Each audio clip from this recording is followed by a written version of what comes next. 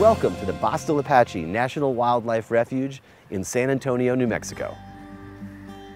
Every November since 1988, it's been the host to the Festival of the Cranes, where it's not unusual for 10,000 sandhill cranes and upwards of 20,000 snow and Ross's geese to stop by during their annual migration. The festival attracts thousands of bird photographers from all over the world. We're here with professional nature and wildlife photographer David Akoubian, who will share some tips for getting great bird images. So when photographing birds, you know, I'm holding the shutter button down, so it's not unusual for me to get hundreds or, you know, a thousand images just to get that one distinctive image I'm looking for.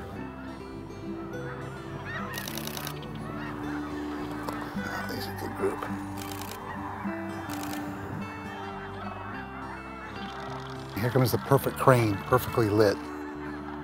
When I'm photographing birds in flight, the shutter speed is critical, so I try to, to shoot about one one thousandth of a second or faster.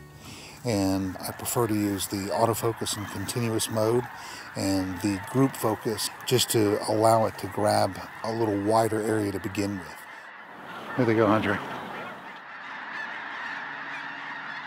One thing that I recommend everybody do when they're photographing birds is to learn the bird behavior. For instance, the, the birds taking off into the wind help you predict which way they're going to fly. So as soon as they lift off, they sort of turn their bodies with the wind and let the wind carry them. So you always want to photograph with your back to the wind, and that'll make it easier to get the birds as they, they fill these ponds, the seeds start to separate from the, the grasses, and that's why all the cranes have moved forward. As the, the pond gets deeper, the, the birds move closer to us. They dig down into the, the, the soft dirt where the seeds are at. Kind of neat to watch and fantastic to photograph.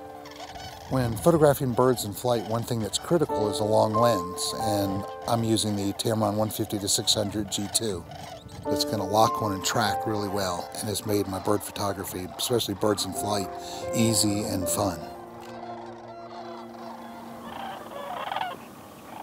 Beautiful light, early morning like this. You know, obviously the birds are most active early in the morning. Um, you know, they're setting their areas, so that's when you get the most activity as well with the birds. It can take years to become proficient in bird photography, but with a lot of practice, and a little bit of patience, you'll be ready to take flight in no time.